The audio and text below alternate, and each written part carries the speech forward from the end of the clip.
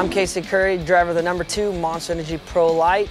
I race in the Lucas Oil and the TORC Series. Also do everything else in the dirt.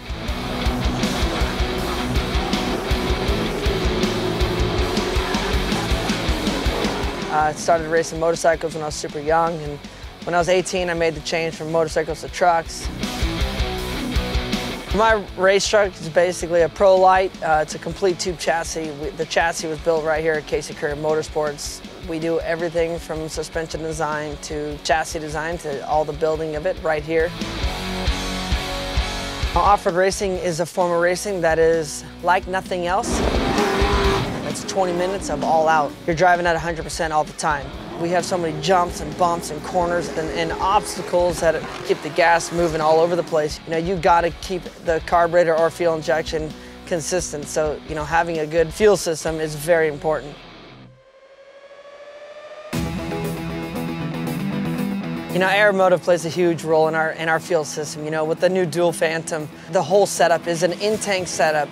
Having two fuel pumps that are separately wired, you can basically run one or you can run the other or you can run both. So if you have 2,000 horsepower, you can get the fuel needed to make the car run at 100%.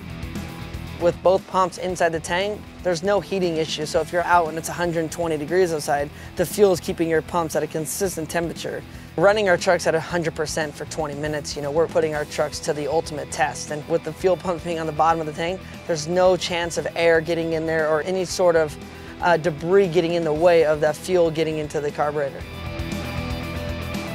With the foam and the baffle, you know, this system is basically flawless. You can put this inside of any tank.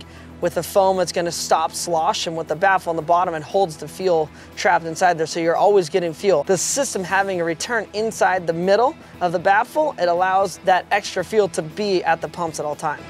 In the four years that I've been running their fuel pumps, I've actually had never had an issue. And you know, with the dual phantom, it, it basically eliminates the fuel pumps getting hot. It weighs basically nothing. And having everything in the tank, you got two fuel pumps that you can run on two separate switches, and it has the return built in. It's all built into one unit that makes it the ultimate system.